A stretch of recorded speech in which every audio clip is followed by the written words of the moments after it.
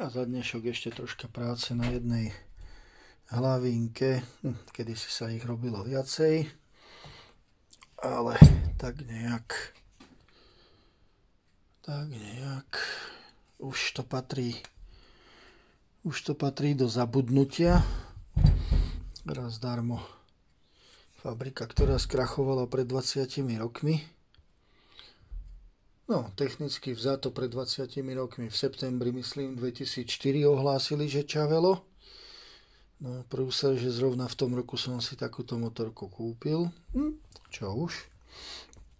Aj pamätníci už vedia, že sa jedná o hlavu na vorku, ktorá teda mala sedla z beríliového bronzu osadené už od fabriky kopec iných výrobcov, kopec iných výrobcov používa liatinové, liatinové sedlá a sedlá z beriliového bronzu sa do tých hlav dávajú povedzme ako racingové úpravy, no v tomto prípade vorka vychádzajúca vlastne z predošlého vertematy, pokiaľ viem, teda aspoň motory boli dlhú dobu, no prekrývalo sa to nejaké nejaké dva roky, alebo koľko sa to prekrývalo, že tie motory boli rovnaké.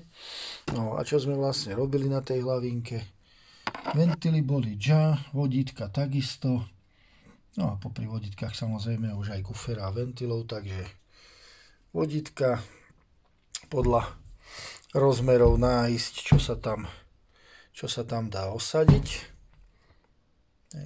Vodítka 6 na 12 k tomu prídu patričné, patričné guferka, teda 6 na 10 ventilky, zase podľa rozmerov, podľa rozmerov nájdené to, čo bude pasovať staré ventilky už zaklepané na tesniacej ploche. No, jak sa cie, tak výfukové. Dekompresor sa na vačke rozletel, Takže tak nejak vačka bude ako v krosovej verzii, vačka bude bez dekompresora. Ten bol tam vľavo, tam kde už není, vačka bude bez dekompresora, teda automatického. A ako na kresovej verzii dekompresor bude. Dekompresor páčka dekompresora bude len ručná. Ono ten, ono ten dekompresor na tej vačke aj tak je to sranda, je to obdobný patent ako na XR, 600, 650, KTM, ale na tej vorke ten dekompresor. Nejak sa mu veľmi nechcelo fungovať. No a čo je ešte? Pikoška pri tejto vorke, no toto táto rolnička povedla, tak práve tá slúžila na ovládanie, teda tu ovládal dekompresor, Takže podľa toho aj viem, že toto je výfukové váhadlo. Sacie váhadlo tú rolničku na boku nemá. No a tieto rolničky tiež boli ako na huskvarne, čapík osmička. Vonkajšok rolničky, teraz už si to nepamätám, či 16, či 18. No, už prakticky nezohnateľná vec. No a štelovanie vôle ventilov takýmito zapustenými podložkami, ktoré idú sem na vrch na ventil. A podložky, no, ktoré v súčasnej dobe, keď treba nejakú, keby bolo treba väčšiu hrúbku, našťastie vyzerá to tak, že si vystačíme s týmito, len ich budeme musieť stenšiť, lebo ide vlastne o hrúbku tej steny v tom zapustení. Hej.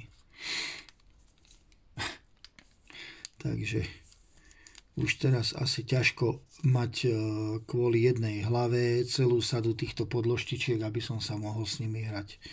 Proste všetko už sú to veci. 2004 už je to proste postupovo z dôvodu potrebných postupov a dohľadávania dielov a tak ďalej, tak fakticky už je to regulérny veterán.